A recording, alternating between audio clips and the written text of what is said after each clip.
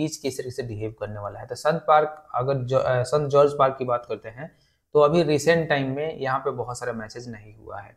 अब recent time का मतलब है कि अभी 2024 में टी ट्वेंटी मैचेज यहाँ पे नहीं हुआ।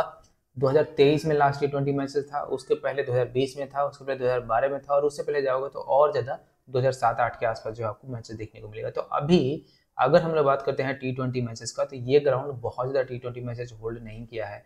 तो इसीलिए टी ट्वेंटी में किस तरीके का वेरिएशन रहे, ये जल्दी से प्रेडिक्ट करना बहुत ज़्यादा मुश्किल है, ना केवल मेरे लिए, बल्कि सभी के लिए। और जो लोग कहते हैं कि बिल्कुल फिक्स ऐसा ही बिहेव करेगा तो आप समझ लेना कि वो या तो ओडीआई की बता रहे हैं, या जो यहाँ पे टेस्ट मैसेज होते हैं, उसकी बता रहे हैं। जो टी ट्वेंटी मैसेज है, उसका भी रिसेंट में कोई मैसेज यहाँ पे हुआ नहीं है तो कोई जल्दी से बता नहीं सकता। लेकिन हाँ जो मैचेस पिछले हुए हैं, उसके हिसाब से देखोगे तो ये पिच बैलेंस है।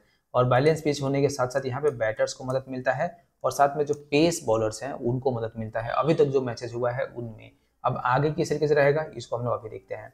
अब पेस बॉलर्स को एक अच्छा बाउंस मिलता है यहाँ पे। सिम्स मूवमेंट अच्छा मिलता है और जिसके चलते वो अच्छे तरीके से इम्पैक्ट डाल सकते हैं यहाँ पे, यानी कि रन बनाने पे जो है वो रोक सकते हैं। अब हिस्टोरिकली यहाँ पे देखोगे तो आप देखोगे कि 144 का एवरेज है, क्योंकि रिसेंट के अभी चार मैचेज ही, जो मैंने आपको बताया, वही चार मैचेज यहाँ पे हुए हैं। अब जिसमें से हाईएस्ट देखोगे तो 180 रन है इंडिया ने बनाया था और लोएस्ट देखोगे तो अंठावन रन है जो कि साउथ अफ्रीका ने बनाया था। वो भी ऑल आउट जो है यहाँ पे नहीं हुआ था। उसके अलावा अगर हम लोग बात करते हैं तो यहाँ पे जो बैट्समैन का आउट आउटकम रहता है, वो इक्वल रहता है। मतलब चार मैचों में से दो चेस हुआ है, दो डिफरेंट हुआ है तो आप कह सकते हो कि बहुत ज़्यादा जो है डिफरेंसेज आपको देखने को नहीं मिलेगा। तो जो डिफरेंसेज है, वो इक्वल सेम ही है। लेकिन हाँ जो इम्पैक्ट है वो अभी तक फास्ट बॉलर का ज़्यादा रहा है। बैट्समैन का भी उस तरीके का इम्पैक्ट देखने को नहीं मिला है। क्या आप अंदाज़ा लगा सकते हो कि जहाँ पे 180 हाईएस्ट रन है तो वहाँ पे इम्पैक्ट बैट्समैन का भी उतना ज़्यादा नहीं है। लेकिन ये स्कोर बहुत साल पहले के हैं।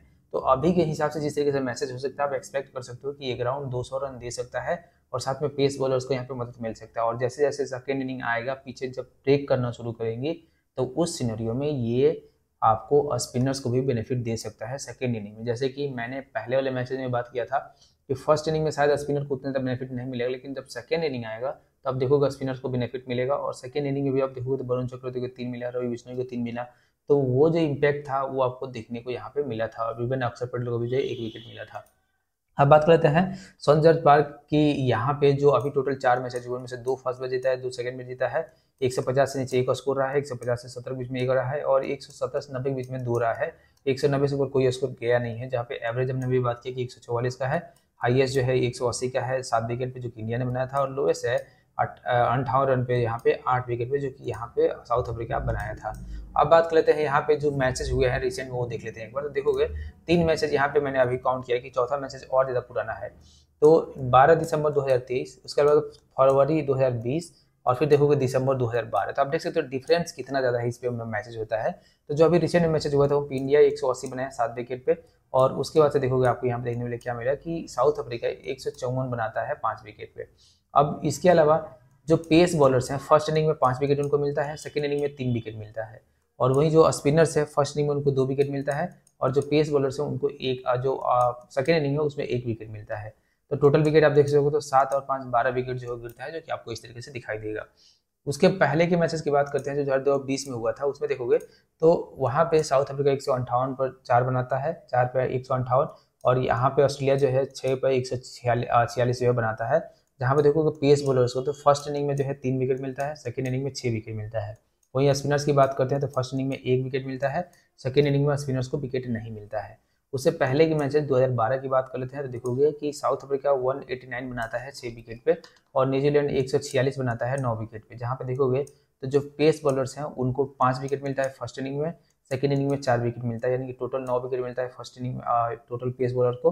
और स्पिनर्स की बात करते हैं तो एक विकेट मिलता है फ़र्स्ट इनिंग में और चार विकेट मिलता है सेकेंड इनिंग में स्पिनर्स को। और ये जो है तीन मैचेस का जो है रिकॉर्ड आप देखोगे, जहाँ पे पेस बॉलर्स को तेरह विकेट फ़र्स्ट इनिंग में मिला, तेरह विकेट सेकेंड इनिंग मिला। टोटल छब्बीस विकेट मिला और स्पिनर्स देखोगे तो फ़र्स्ट इनिंग में चार विकेट मिला, सेकेंड इनिंग में जो है पाँच विकेट मिला, टोटल नौ विकेट मिला। और ये भी आप देखोगे किसमें तो आपको देखने मिलेगा कि यहाँ पे जो आप कह सकते हो कि जो ये ये आप ऐसा ले रहे हो कि जो पेस बॉलर्स हैं, उनको ज़्यादा विकेट जो है मिला है एज कंपेयर टू जो स्पिन बॉलर्स हैं।